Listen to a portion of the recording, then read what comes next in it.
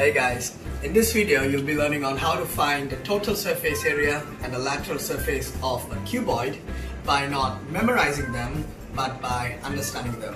Hope you enjoy.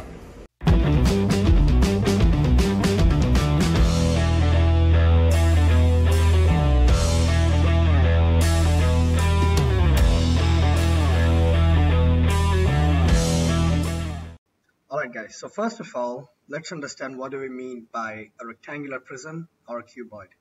Now, when we take a look at a cuboid, we know that it has six faces, which is divided into front, back, left and right, and top and bottom. Now, we know that these three pairs will always be equal. So, the area of the front will be equal to the area of the back, the area of the left will be equal to the area of the right, and the area of the top will always be equal to the area of the bottom. Right guys, so there are only six faces or three pairs. Now let's take a look about on how to find the area of the front and back. So if we take a look at front and back, we are pretty much talking about this. This is the front and the back. If you are guys following up with me. Alright, now if you take a look at the front now, it is, we have the length and the height. This is the front.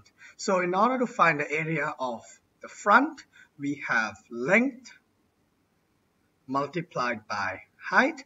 And since we have the front and back in which both are always equal, we will multiply it by 2. So the area of the front and back will be length multiplied height multiplied by 2.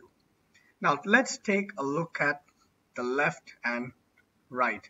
Now, if we take a look at left and right, if we take a look at left and right, we would be having,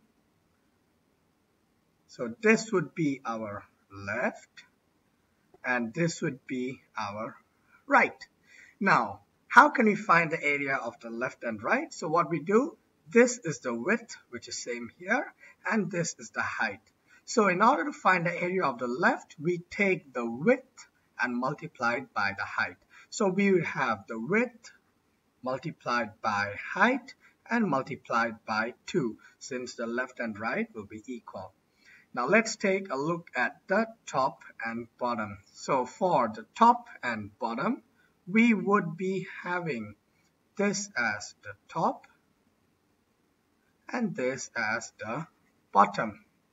So in order to find the area of the top or the bottom, we take the length and multiply by the width. So we have the length multiplied by the width multiplied by 2 since there are two faces.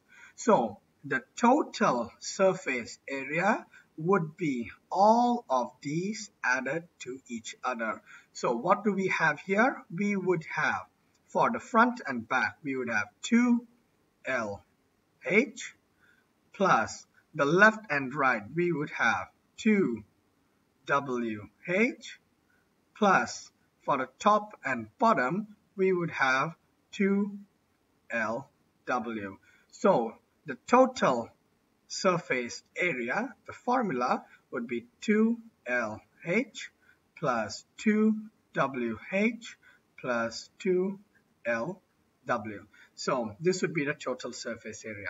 Now, when we take a look at the lateral surface area, it means the area of this rectangular prism or cuboid, which excludes the top and the bottom.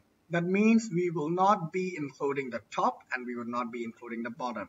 Now, if we take a look at this, if we don't include the top and bottom, so let's write here again.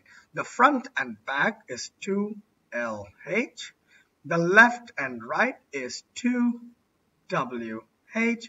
So the lateral surface area would be 2LH plus 2WH. So again guys, the lateral surface area will not include the top and the bottom. Alright guys, hope this helped you and see you next time.